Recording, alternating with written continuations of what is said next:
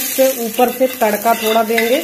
बढ़िया से ये आप लोग आ गए? अरे इतना टेस्टी साग बना है बहुत ही बढ़िया। ये सरसों का साग सबको भुला देता है। हेलो नमस्ते। मैं हूँ रश्मि। रश्मि की फैमिली किचन में आपका स्वागत है।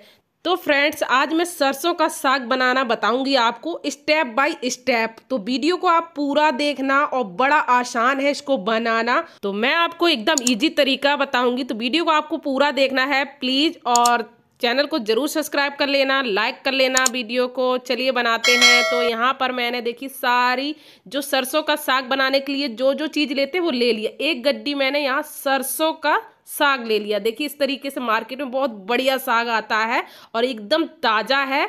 और एक गड्डी ले ली और यहाँ मैंने बथुआ लिया है। बथुआ भी ऐड करते हैं इसमें और बथुआ की गड्डी पतली है, बिल्कुल थोड़ा डालना है। और एक गड्डी लिए है पालक। तो पालक पूरी ऐड नहीं करेंगे, थोड़ा कम डालेंगे इसमें। तो इन सबको करना है पहले साफ़। तो देखिए, जब भी हम साग लेके आते हैं तो साफ़ करना भी एक वो हो जाता है कि इसको इतना साफ़ करें। तो आप गड्डी लेना है, किनारे से कट कर देना है। आराम से साफ़ हो जाती है, बिल्कुल पत्ती पत्ती लेनी है ना।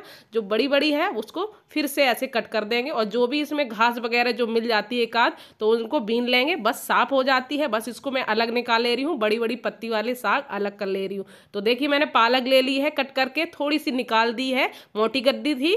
तो इस रेसियो के साथ आपको सब चीज़ें लेनी है। और जो देखिए ये सरसों का साग है ना ये इसको आप साफ़ करना है तो आपको पत्ती पत्ती लेनी है। मतलब जो मुलायम थोड़ी ये हो ना थोड़ी ऊपर से ले सकते इस तरीके से आपको साफ़ कर लेना है। तो फ्रेंड्स किस किस को सरसों का साग खाना पसंद है कमेंट कर कर ज़रूर बताना। तो सारा देखिए साग साफ़ कर लिया है। अब सबको आपको इकट्ठा धुलना है चार से पाँच बार। बहुत अच्छे से धुलना जैसे मिट्टी वगैरह ही सारी निकल जाएगी। तो मैंने टैप के नीचे बढ़िया से धुल लिया है, देखिए। और इसे धुलने के बाद किसी जाली वाली टोकरी में आपको निकाल देना, थोड़ा पानी इसका निचुड़ जाए। अब क्या करना है, इसको कट करना है। यहाँ पे आता है कि इसको कट कैसे करे? किसी को कट करना आता है, हसिया से काटता है, कोई चाकू से काटता है, कोई चॉपर बोर्ड पे काट कर लेता है। आप किसी भी तरीके से मोटा पतला काट सकते हैं। कोई दिक्कत नहीं है कि हमें ज़्यादा अच्छा काटना नहीं आता तो हम साग नहीं बना सकते हैं। बड़े आसानी से बहुत ही बढ़िया साग बना सकते हैं। तो वीडियो को एंड तक देखना और पसंद आ रहा हो वीडियो तो एक लाइक ज़रूर कर लेना फ्रेंड्स। तो देखिए मैं इस तरीके से कट कर ले रही हूँ। बहुत बढ़िया साग है, एकदम ताज़ा था, बड़े आसानी से कट हो रहा है। आप जिस तरीके से चाकू से सब्ज़ियाँ काटते हैं, मेथी, पालक, उसी तरीके से काट सकते हैं। और या फिर आप हसिया से काट सकते हैं। देखिए इस तरीके से मैंने काट लिया, फिर छोटा छोटा कर दीजिए, इस तरीके से देखिए, है ना? बड़ा बड़ा कट जाता है, फिर छोटा कर दीजिए। और बस इसी तरीके से आपको पूरा साग जो है ना वो कट कर लेना तो है। पूरा साग देखिए मैंने काट लिया इसी में बथुआ पालक सभी चीज़ कट कर ली है। तो चलिए अब बनाते हैं बढ़िया सा ये सरसों का साग। अब गैस की तरफ़ चलते हैं। तो इधर मैंने बड़ा भगोना लिया है, तीन गिलास इसमें डालेंगे पानी। बिल्कुल परफेक्ट पानी है, इसको कवर कर देंगे पूरा, अच्छे से बॉयल आ जाए। अब यहाँ पर देखिए, तब तक मैं मिर्च को पीसे ले रही हूँ। मिर्च को आपको ज़्यादा लेनी है तो मैंने यहाँ पर लगभग पंद्रह मिर्च ले ली है। चटपटा साग बनाएँगे, एक इंच अदरक का टुकड़ा ले लिया है। और इसमें डालेंगे दस बारह कली ये लहसुन की। तो लहसुन ज़रूर डालें। अब बस सभी को बढ़िया से पीस लेना है। तो देखिए ये पिसकर है तैयार, इसको रखेंगे साइड में। इधर देखिए पानी में बॉयल आ गया है। पानी में बॉयल आने के बाद ही आपको इसमें ये साग कटा हुआ साग डालना है ना? तो बस और थोड़ा सा चला देना है जिससे नीचे बैठ जाए। वैसे तो भगोना बड़ा है अगर आपका छोटा है तो, तो डाल रहे उसको थोड़ा बैठ जाने दीजिए उसके बाद फिर से उसमें डाल दीजिए साग। तो बड़ा बर्तन लें आप तो बड़ा भगोना है कोई दिक्कत नहीं है आप इकट्ठा भी डाल सकते हैं। बस इस तरीके से चला देना है।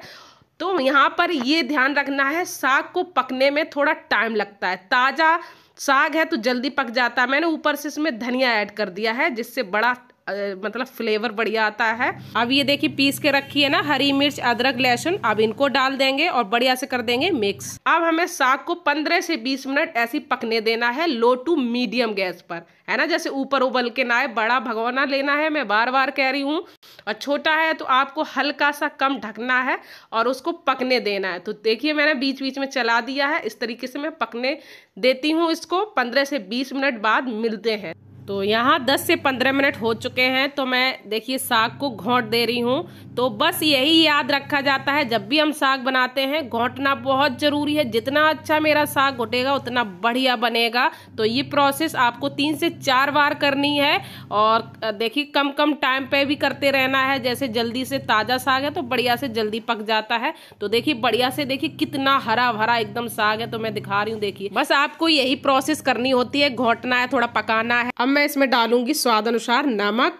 तो इतना नमक एकदम परफेक्ट है।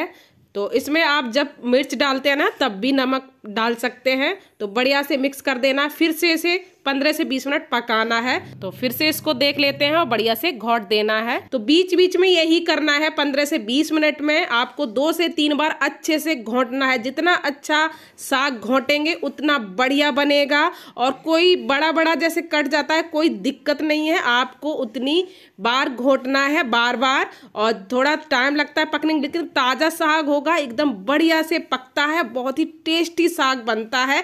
एक बार फ्रेंड इस तरीके से ज़रूर बनाना और सरसों का साग एक बार ज़रूर बनाकर खाना।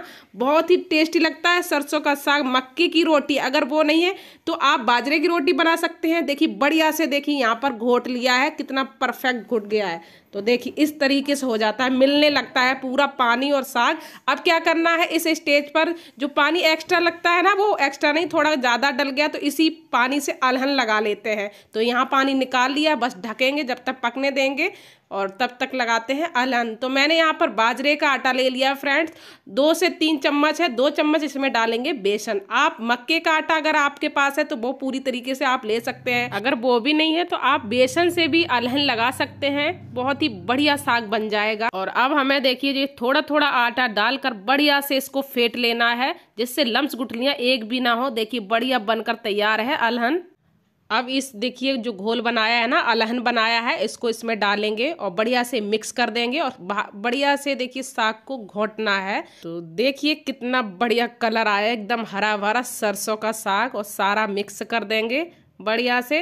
और देखिए ये सब मिक्स करने के बाद पाँच से छः मिनट और इसको पकाना है जिससे ये अलहन लगाया है ना ये जो आटा है वो अच्छे से पक जाए। तो देखिए मैंने दो से तीन मिनट जब ये देखिए फदकता है ना एकदम देखिए खोलता है तो तो गैस को आप मीडियम टू लो रखेंगे जिससे ऊपर को ना आए एकदम छीटे पड़ते हैं ना पूरी गैस पर। तो देखिए मैंने यहाँ पर पका लिया है पाँच से छः मिनट।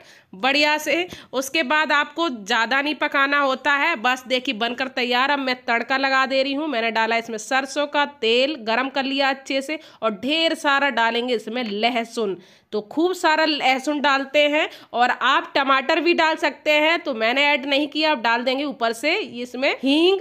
तो हींग सही से डालेंगे। ऊपर से कटी हुई हरी मिर्च। इसमें चीरा लगा दिया है। बढ़िया से इसको देखिए भून लेना है।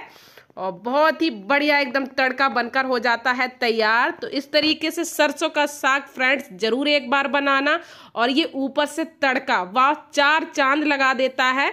और बहुत ही बढ़िया मक्के की रोटी और सरसों का साग। लेकिन यूपी में बाजरे की रोटी ज़्यादा पसंद करते हैं और बनती है। तो मैंने यहाँ पर देखिए ऊपर से लगा दिया है तड़का बढ़िया से। और थोड़ा सा मैं बचा लूँगी, बाद में लगाऊँगी और बढ़िया से मिक्स कर देना है। तो देखिए, बढ़िया से ये देखिए, सरसों का साग बनकर है तैयार। एक बार फ्रेंड ज़रूर बनाना, बिल्कुल मुश्किल नहीं है और बिल्कुल परफेक्ट तरीका बताया है परफेक्ट पानी डाला है। तो बढ़िया से देखिए, बन गया है साग, कितना बढ़िया, बहुत ही टेस्टी बना था फ्रेंड्स एक बार इस तरीके से ज़रूर बनाना, पसंद आया हो मेरे तरीके से सरसों का साग तो एक लाइक ज़रूर कर लेना कमेंट कर कर बताना किस किस को साग खाना पसंद है। एक कमेंट कर कर ज़रूर बताना। तो मैंने देखिए दूसरे बर्तन में ट्रांसफ़र कर दिया था और मैंने इसमें एक और तड़का लगा दिया वाह क्या कहने।